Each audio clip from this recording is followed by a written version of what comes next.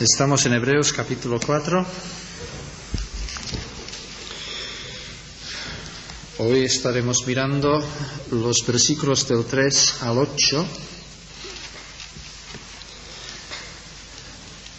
Pero por, para refrescar nuestra memoria del contexto vamos a leer desde el primer versículo del capítulo 4.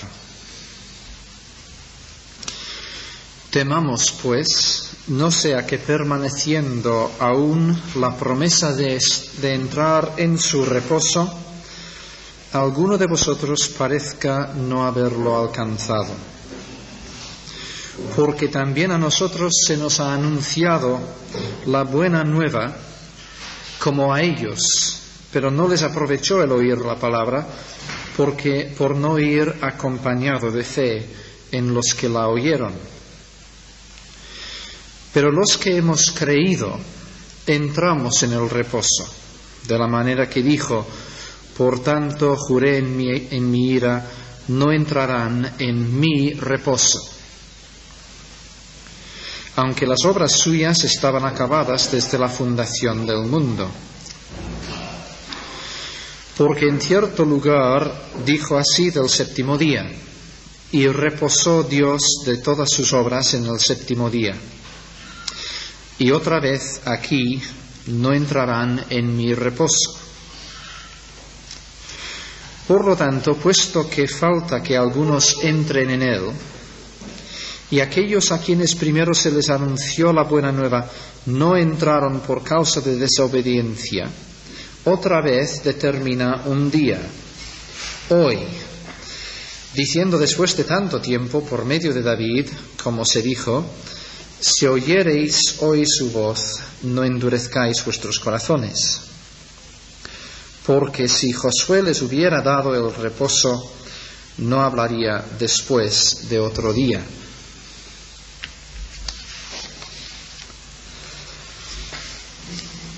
No sé qué impresión nos causa una primera lectura de estos versículos.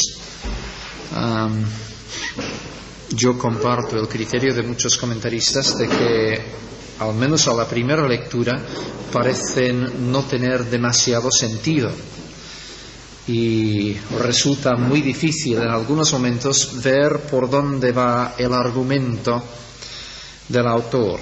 Vamos a volver al versículo 3 y os voy a proponer una manera en la que legítimamente se puede leer este texto que creo que ofrece más sentido. En nuestro último estudio antes de vacaciones veíamos la primera parte de este versículo 3 en la que el autor vuelve a citar del Salmo 95 y recuerda a sus lectores que aquellos que somos creyentes entramos en el reposo según las palabras de este salmo, por tanto juré en mi, mi ira, no entrarán en mi reposo.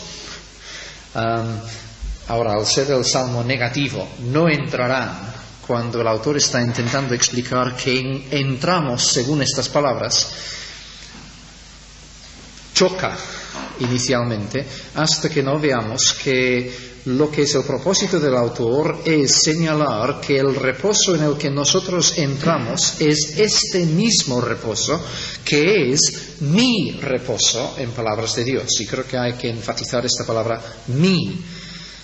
Entramos en el reposo de la manera que Dios dijo, juré mira que no entrarán en mi reposo. Es en este reposo del cual Israel fue excluido, que los creyentes podemos entrar. Bien, hasta aquí. Hemos visto el texto. Pero ahora sigue. Y no creo que tiene demasiado sentido seguir con, esta conjunción, aunque, aunque las obras suyas estaban acabadas desde la fundación del mundo. Yo creo que es mejor poner un punto después de la cita del Salmo y empezar aquí una nueva oración, una nueva frase. Y rezaría así, aunque las obras suyas estaban acabadas desde la fundación del mundo, paréntesis, porque en cierto lugar dijo así del séptimo día, y reposó Dios de todas sus obras en el séptimo día, cerrar paréntesis. Sin embargo, otra vez dice aquí, no entrarán en mi reposo. Sé que es muy complicado cuando intentamos hacer enmiendas de texto de esta manera. cuesta muchísimo eh, que la cosa entre en la cabeza. Pero, pero, habréis visto que he hecho del versículo 4 una especie de paréntesis en la cual el autor explica y justifica lo que acaba de decir en la segunda parte del versículo 3 acerca de, que Dios ha, acabado sus obras. Dios ha acabado sus obras y dice, os acordáis, ¿verdad? Que en Génesis nos dice que Dios reposó después de haber acabado estas obras. Pero quitando por el momento este paréntesis, entonces la frase sería, aunque las obras de Dios estaban acabadas desde la fundación del mundo, sin embargo, otra vez aquí dice, no entrarán en mi reposo. ¿Cuál es la idea? La idea es que aunque es cierto que Dios reposó el séptimo día, y algunos podrían pensar que esto se refiere a un periodo de 24 horas que ocurrió a continuación de, los seis días de la creación. Sin embargo, sabemos que el reposo con el que Dios reposó en el séptimo día sigue siendo vigente para él. Porque sigue diciendo aquí, en el Salmo 95, no entrarán en mi reposo como si Dios estuviese todavía descansando, reposando, y los israelitas no han podido entrar dentro del ámbito de este reposo de Dios. Así que, aunque es cierto que Dios descansó en el séptimo día, sin embargo, David sigue hablando del reposo de Dios. Por lo tanto, aquel séptimo día representó el comienzo del reposo de Dios, pero Dios sigue descansando. Esta es la razón del aunque al principio de esta frase del versículo 3. Ahora supongo que os he confundido totalmente, no sé si es así, pero vamos a intentar ir desgranando el texto sobre esta base.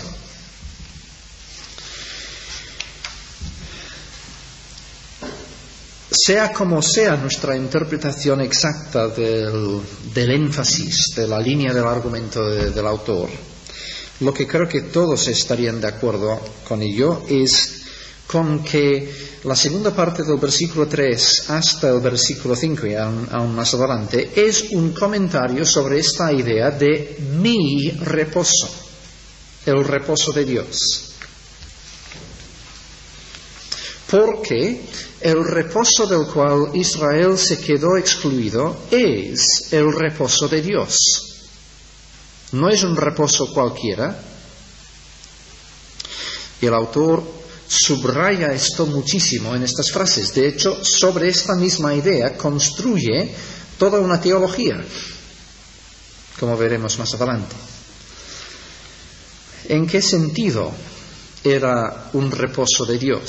Pues podría haber sido en el sentido de que Dios dio este reposo. Era un regalo que Dios ofrecía a su pueblo y por lo tanto es un reposo que proviene de Dios para su pueblo. En este sentido podría ser el reposo de Dios. Pero no está diciendo el autor, es mucho más que esto. Es además el mismo reposo que Dios mismo disfruta.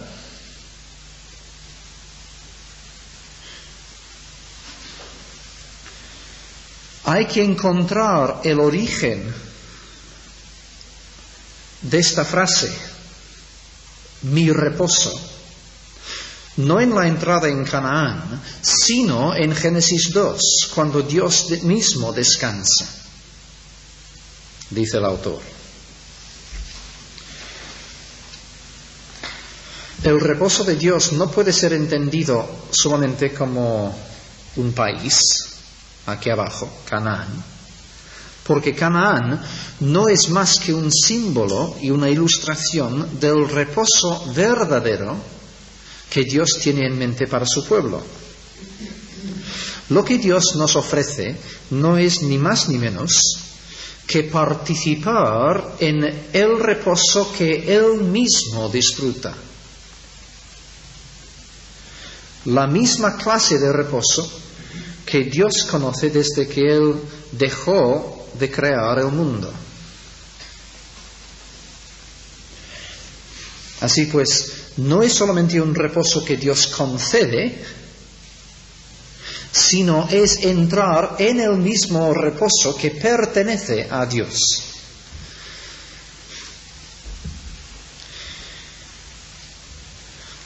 Vemos pues que el reposo del creyente, anticipado en el cuarto mandamiento sobre el día de reposo,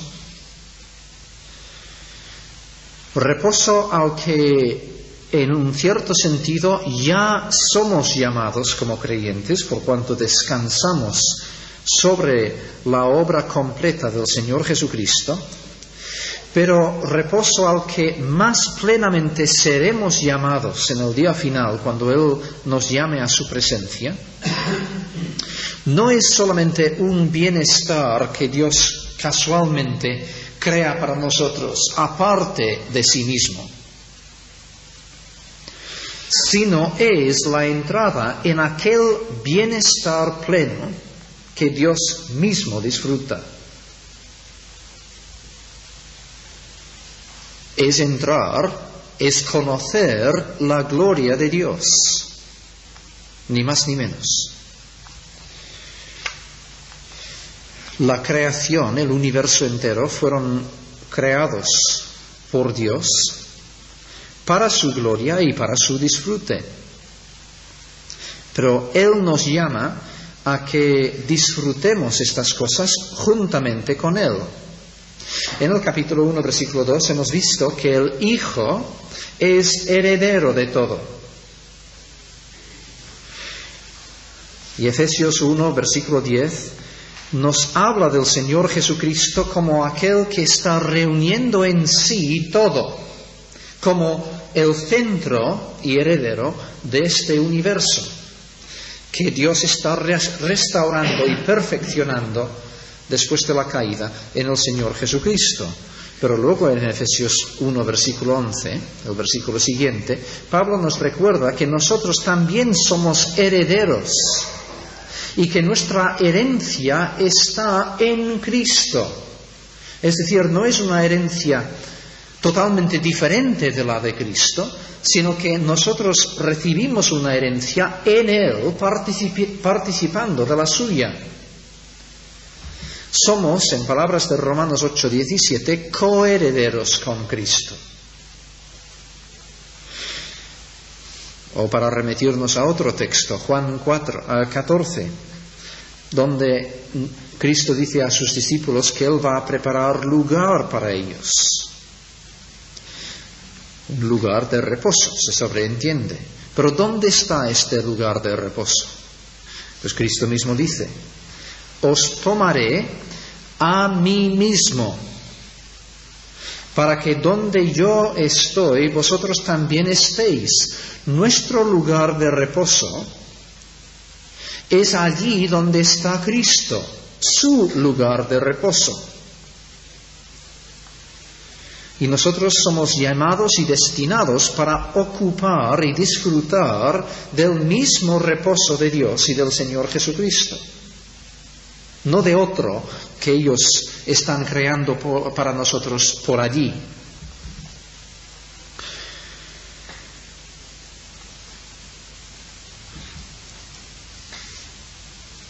Y es esta identidad entre el reposo de Dios y el reposo del creyente que el autor quiere subrayar para nosotros en estos versículos.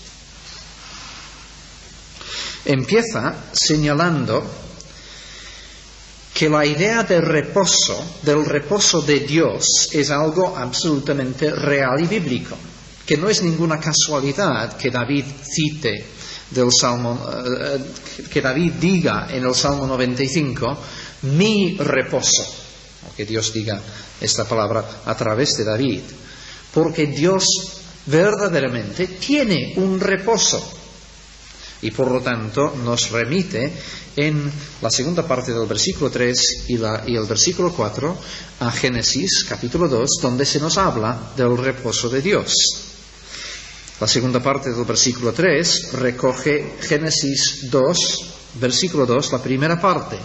Acabó Dios en el día séptimo la obra que hizo. Las obras suyas estaban acabadas desde la fundación del mundo. O sea, en cuanto a la creación del universo, esta quedó completada ya en el uh, al llegar al final del sexto día, antes del séptimo día. En cuanto a la fundación del mundo, ya veíamos en otro estudio que no es que Dios a partir de aquel momento haya quedado inactivo, Él sigue obrando, Él sigue trabajando, pero con respecto a su obra de la creación, ya era perfecto. Um, Gooding en su comentario dice de su manera gráfica que, que Adán no pudo acercarse a Dios y decir, Señor, has dejado esta estrella a la mitad, o este árbol no te ha salido bien. Todo lo que Dios había hecho lo había hecho perfecto y completo. Y por lo tanto descansó el versículo 4, que viene a ratificar esta idea, recoge la segunda parte del Génesis 2.2. Reposó Dios de todas sus obras en el séptimo día. Es curioso ver cómo el autor introduce esta cita, porque es una manera muy típica de él. En cierto lugar dijo así Dios del séptimo día. Observamos que en primer lugar no vacila en atribuir el texto de Génesis 2 a Dios mismo como autor. En cierto lugar Dios dijo así del séptimo día. y luego da la impresión de que se le ha olvidado la cita, que no es así. él sabe perfectamente que la referencia es a Génesis capítulo 2. Pero como ocurrió en el capítulo 3 donde es, no, capítulo 2, versículo 6, alguien testificó en cierto lugar, al autor de Hebreos le gusta introducir una cita de esta manera, que es casi como si dijese, como bien sabéis, o para citar palabras ya bien conocidas para vosotros, y no hace falta dar la cita exacta porque son palabras tan familiares. Así pues, la primera premisa, la primera idea queda establecida con estas citas de Génesis. Dios, una vez acabada la creación, ha entrado en su reposo.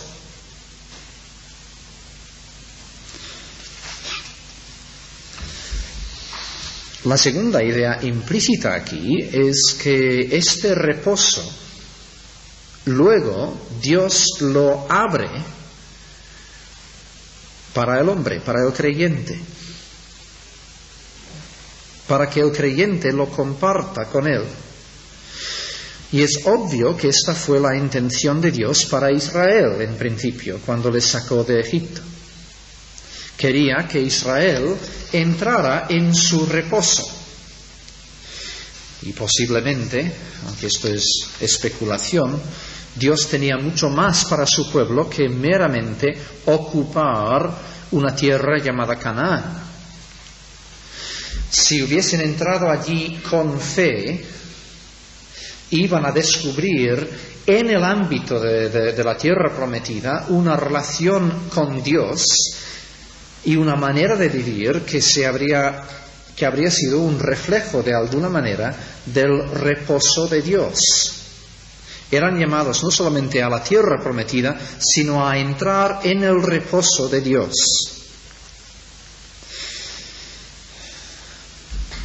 Pero no entraron. Y aunque es cierto que Dios tenía esta intención, sin embargo, versículo 5, otra vez leemos en las Escrituras, y concretamente en el, Salmo 95, no entrarán en mi reposo.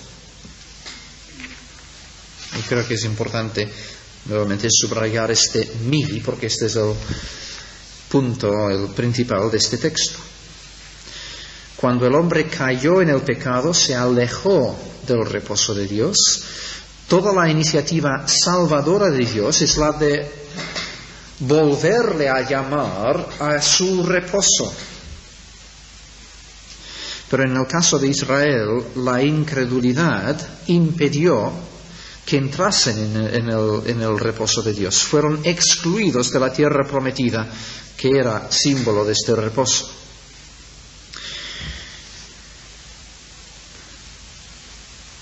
Pero lo importante aquí es que las mismas palabras del Salmo 95 indican muy claramente que este reposo que Dios conoce y disfruta, en principio es la porción y la herencia del pueblo de Dios. Esto, los versículos del 3 al 5. En los versículos del 6 al 8, el autor va un paso más hacia adelante. Dios tiene la idea de que su pueblo entre en su reposo. Pero, dice el autor, si es cierto que Israel no entró, entonces permanece todavía la promesa y la posibilidad de entrar en el reposo. Ya lo ha dicho en el versículo 1. Temamos no sea que permaneciendo aún la promesa de entrar en su reposo. Y en el versículo 9 lo va a repetir. Por tanto, queda un reposo para el pueblo de Dios. Aquí, al llegar al versículo 6, el autor presupone que las promesas de Dios son firmes y han de ser cumplidas. Las promesas de Dios no pueden ser hechas nulas por la infidelidad del hombre. Aun cuando aquellos que inicialmente escucharon la promesa y tendrían que haber apropiado la promesa, eran infieles y por lo tanto quedaron excluidos del cumplimiento de la promesa, aún así Dios busca una nueva manera, o quizás más correctamente, Dios desde el principio manifiesta que Él tenía otra manera de entender esta promesa y de cumplirla. ¿Os acordáis de la parábola? Si los amigos del rey no quieren acudir al banquete, no por esto va el rey a dejar de celebrar el banquete. Y si los amigos del rey ponen sus excusas de no acudir, pues entonces él enviará a sus siervos para invitar a otros estamentos de la sociedad.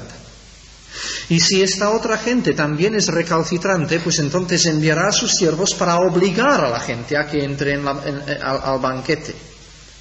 Porque si Dios se propone celebrar un banquete y ofrecer un reposo, lo va a hacer. Todo lo que Él propuso, lo cumple. Si Dios prometió a Abraham una descendencia y una tierra, habrá cumplimiento. Y si Israel se niega a entrar en la tierra prometida, pues Dios hará que el cumplimiento sea más glorioso aún. Y Dios había ratificado esta promesa al pueblo de Israel a través de Moisés. Y esta promesa tiene que ser cumplida. Por lo tanto, si la primera generación de los que salieron de Egipto quedan excluidos del cumplimiento de la promesa debido a su incredulidad, entonces Dios buscará otro cumplimiento. Versículo 6. Israel escuchó primero la buena nueva a través de Moisés. Moisés fue a Israel enviado por Dios para predicarles el Evangelio. Y el Evangelio consistía en buenas noticias de liberación de Egipto y también de entrada en una herencia y una tierra prometida. Creo que es importante recordar esto. El Evangelio siempre ha tenido esta dualidad.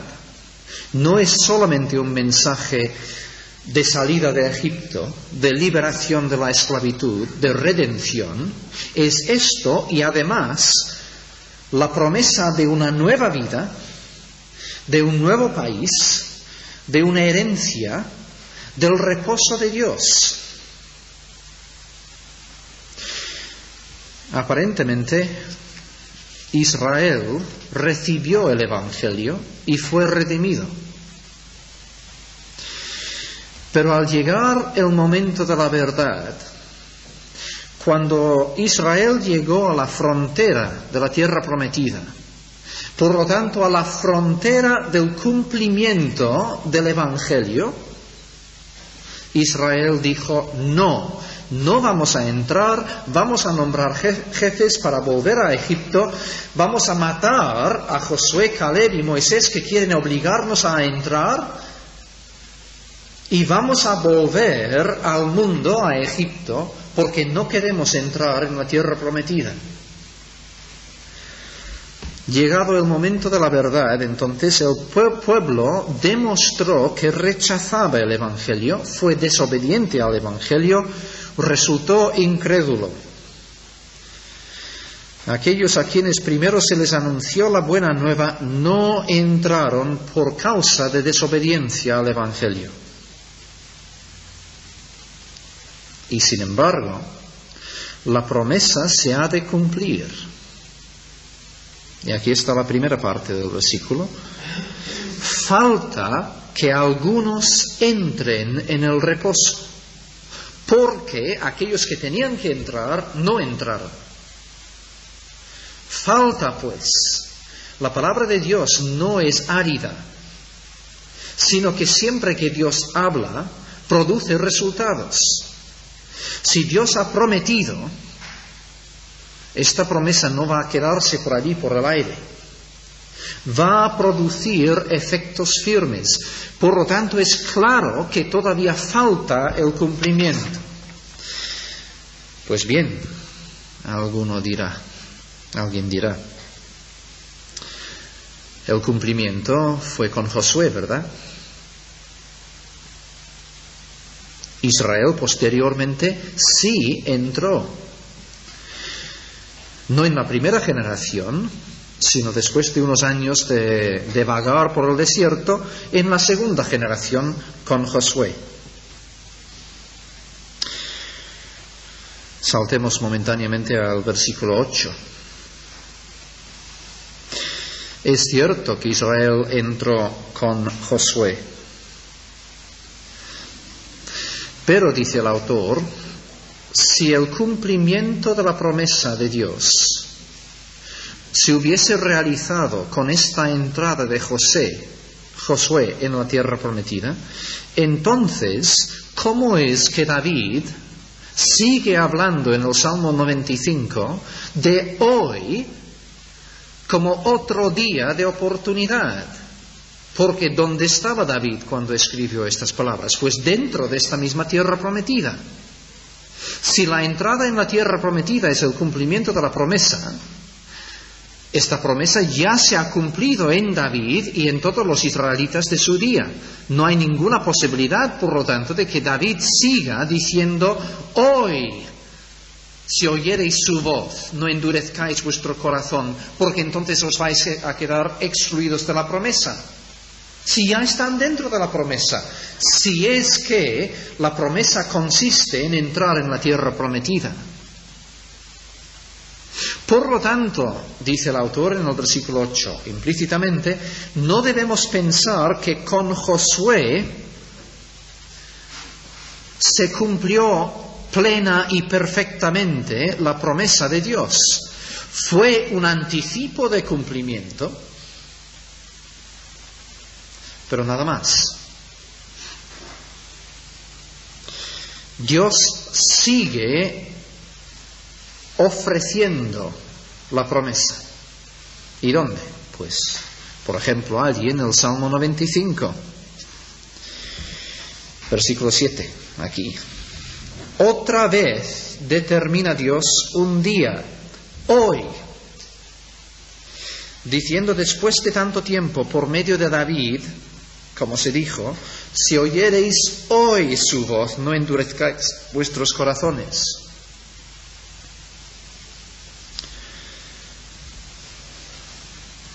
Muchos siglos pasaron entre el momento de la salida de Egipto y el reinado de David.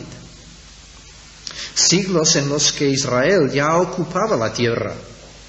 Y sin embargo viene David diciendo, hoy sigue vigente la promesa de Dios de entrar en la tierra, de, entrar en su reposo. Muchos siglos habían pasado desde David hasta la, redacción de esta epístola, pero el Espíritu Santo, como hemos visto en el capítulo 3, versículo 7, sigue hablando a través de este salmo como si fuese en tiempo presente. Dice el Espíritu, dice el autor en el primer siglo, si oyereis hoy su voz, y por supuesto nosotros en el siglo XX podemos seguir escuchando la voz del Espíritu Santo a través del Salmo 95 diciéndonos lo mismo.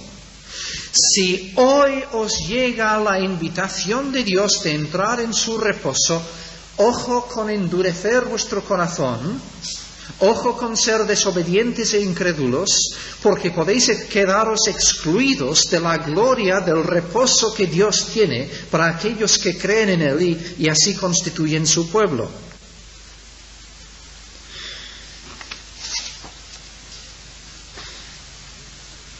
Hoy sigue vigente la promesa. Y lo sabemos porque hoy también sigue vigente, según el Salmo 95, el aviso. Si Dios aún avisa a los lectores de, su palabra, que sea en el Salmo 95 o en Hebreos capítulo 4, que teman, versículo 1, no sea que permaneciendo aún la promesa de entrar en su reposo, alguno de vosotros parezca no haberlo alcanzado. Si nos llega hoy el aviso, es porque la oportunidad también hoy está vigente. Y recordemos quién nos está avisando y prometiendo.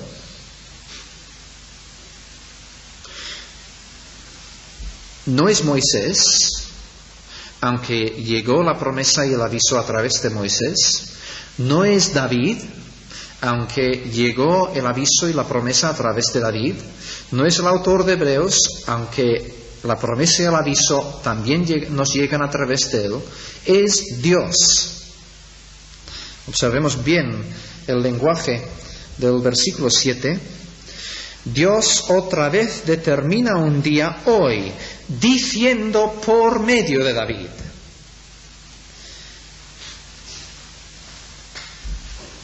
En el libro de los Salmos no nos dice siquiera que el Salmo 95 haya sido compuesto por David, pero parece ser que el Espíritu Santo nos lo dice aquí. Pero lo que dice con más claridad aún es que más allá de David, en el Salmo 95 nos encontramos con las palabras de Dios mismo, a través de David, por medio de David. Y constantemente vemos en esta epístola como el autor toma las palabras del Antiguo Testamento como palabra de Dios. Es Dios quien nos está hablando. El hecho de que David, después de tanto tiempo, versículo 7, puede seguir aplicando las palabras de la promesa a su generación, Y el hecho de que el autor de Hebreos, después de otro gran tiempo, seguía aplicando estas mismas palabras a la suya, demuestran, demuestra que ellos entendían que las palabras de Dios tienen una vigencia continua a lo largo de la historia. Dios siempre, desde la fundación del mundo, desde que Él entró en su reposo, está ofreciendo a la humanidad, al ser humano, la posibilidad de entrar en aquel reposo juntamente con Él. En esencia, este es el Evangelio. Y también está constantemente avisando de la misma advertencia. Existe la promesa del reposo, pero también el peligro de exclusión por incredulidad y por desobediencia.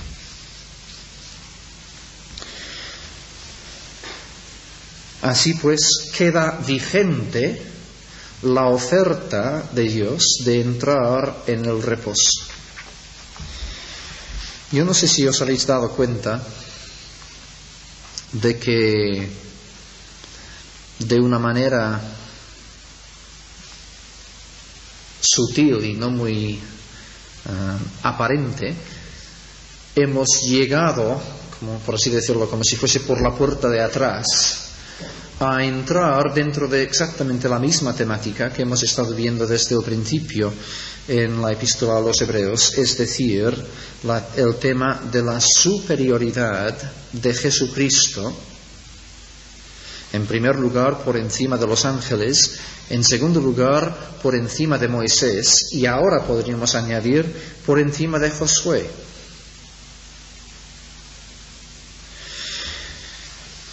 Sabéis que Josué y Jesús son un mismo nombre. Y yo no sé si al escribir el versículo 8 el autor recordaba esto y de una manera sutil quiere que nosotros veamos más allá del prototipo de Josué, el tipo cumplido en Jesucristo mismo. Si hubiésemos preguntado a cualquier judío que hubiese entrado en la tierra prometida con Josué, o que estuviese vivo todavía en el primer siglo, en tiempos de, esta epístola, si les hubiésemos preguntado en qué consiste el reposo de Dios, ¿qué pensáis que habrían contestado? quiero decir, en qué consiste el reposo del pueblo de Dios. Seguro que habrían señalado al menos dos cosas. Por un lado, el día de reposo. Sí, Dios nos ha dado un reposo el séptimo día. Cada séptimo día tenemos un día de reposo. Y este es el reposo que Dios nos da. Y en segundo lugar, habrían señalado la tierra. Este, esta tierra, Canaán, es la tierra prometida, es el reposo que Dios nos ha ofrecido. Pero estas cosas son el reposo que Dios tenía en mente. Ciertamente con Josué y con Moisés, el pueblo de Dios entró en el ámbito de la ley con su día de reposo. Y bajo Josué en la misma tierra de la promesa, la tierra del, reposo. Pero vaya reposo que encontraron allí. Se encontraron con muchísimas batallas, con su propia infidelidad allí dentro de la tierra. Y el autor nos está diciendo, ¿no veis que más allá del lenguaje de las escrituras tiene que haber un cumplimiento superior, que la promesa de Dios no es plenamente cumplido ni en el día de reposo ni en la tierra de Canaán. Que cuando Dios llama a su pueblo a entrar en reposo es algo mucho más glorioso. Por favor, no volváis al judaísmo, dice a sus lectores implícitamente que os ofrece un día de reposo, un sábado, y os ofrece vivir en la tierra de Canaán, como si estas cosas fuesen la, plena, la plenitud del cumplimiento de, de la promesa de Dios. ¿No veis que si volvéis al judaísmo, volvéis a los símbolos y las sombras de las realidades? Y la realidad es una realidad espiritual. ¿Y cómo lo sabemos? Pues por al menos dos cosas que hemos estado viendo en el Salmo 95, diría el autor. Por un lado, vemos que tiene que haber otro cumplimiento espiritual y superior por el hecho de que el reposo al que Israel tiene que entrar no es otra cosa que el reposo de Dios. ¿Acaso Dios en su reposo se queda reducido a unos, unos días festivos? ¿O acaso Dios para poder estar en su reposo, tiene que morar en Canaán y en ningún otro sitio. Pues si el reposo de Dios es superior a la tierra de Canaán y al, día, de reposo, entonces el reposo al que el creyente es llamado, ya que es el reposo de Dios, también ha de ser superior. Y el otro detalle que confirma esto es el uso de la palabra hoy. Si, la promesa se cumple con el día de reposo y con la tierra de Canaán, una vez que el pueblo está en Canaán, acaba el hoy. Porque ya el pueblo está en el reposo de Dios. No hace falta que Dios siga llamándole. El hecho de que David, siglos después, puede decir hoy, el autor también, indica que el reposo de Dios es algo superior. Cuando Dios acabó la creación, descansó de sus obras. Y por supuesto este Dios no era otro que nuestro Señor Jesucristo, porque el capítulo 1, versículo 2 nos ha dicho que fue por Él a sí que Dios hizo el universo. Y quien descansó de la obra de la creación fue nuestro Señor Jesucristo, fue Dios.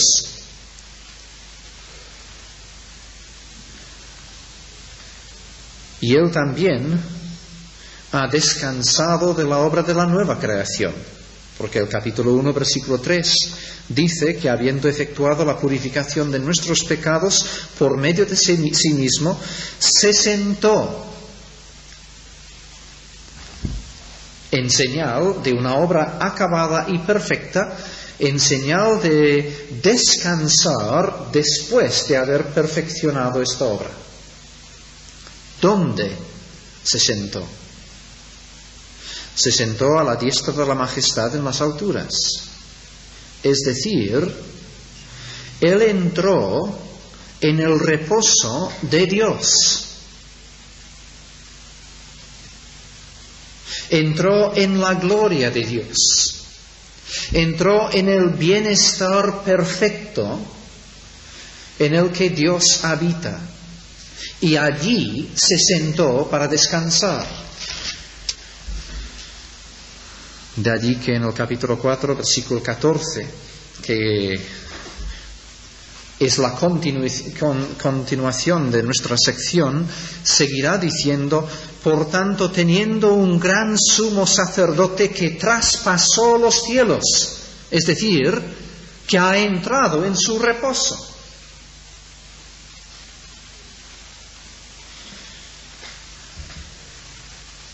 El Señor Jesucristo se ha sentado y está descansando de, su obra de redención. Esto no quiere decir que no esté activo, Él sigue obrando poderosamente en otras áreas. Pero con respecto a esta obra, Él descansa y Él descansa en el ámbito del reposo de Dios a la diestra de la majestad. Si tú has creído en el Señor Jesucristo, Tú estás sentado con Él en los lugares celestiales, sentado, porque tú también descansas. Descansas no en tus propios méritos, sino en su obra perfecta y completa. Ahora, es todo un aprendizaje aprender en esta vida a compaginar este descanso en el Señor con la lucha cotidiana contra el pecado y contra el maligno y a favor del Evangelio y el reino de Dios. Pero hay un sentido en el que nosotros ya hemos entrado en nuestro reposo y estamos sentados en nuestro reposo, pero ¿cuál es este reposo? Es el reposo de Dios. Es en su reposo que entramos, no en un reposo que nosotros nos hemos fabricado por nuestro mérito, sino en un reposo que Él ha hecho para nosotros. Entramos en su herencia, que Él es merecedor de, ella y no nosotros, pero Él nos llama a participar de ella. Es en su reposo que nosotros ya podemos estar sentados en los lugares espirituales, celestiales. Y un día Él nos llamará definitivamente. Él nos tomará a sí mismo para que nosotros siempre estemos allí donde Él está. Y entonces descubriremos plenamente que entrar en nuestro reposo es entrar en su reposo. Pero mientras tanto, además de la promesa, nos llega la advertencia, si oyereis hoy su voz, no endurezcáis vuestros corazones, porque nosotros tenemos un Salvador infinitamente superior a Josué. Nuestro Josué, Jesús, que ya ha traspasado los cielos y está sentado a la diestra de Dios, habiendo forjado el camino para nosotros. Pero ojo, temamos, no sea que permaneciendo aún esta promesa de entrar en el reposo, en su reposo, a alguno de nosotros parezca no haberlo alcanzado.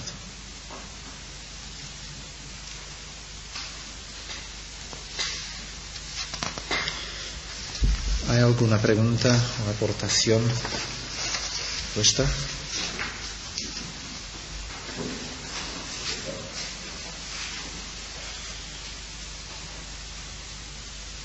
No hemos llegado todavía al versículo 9, lo dejo para la semana que viene y vamos a hablar un poco más la semana que viene acerca de lo que significa entrar nosotros en el reposo.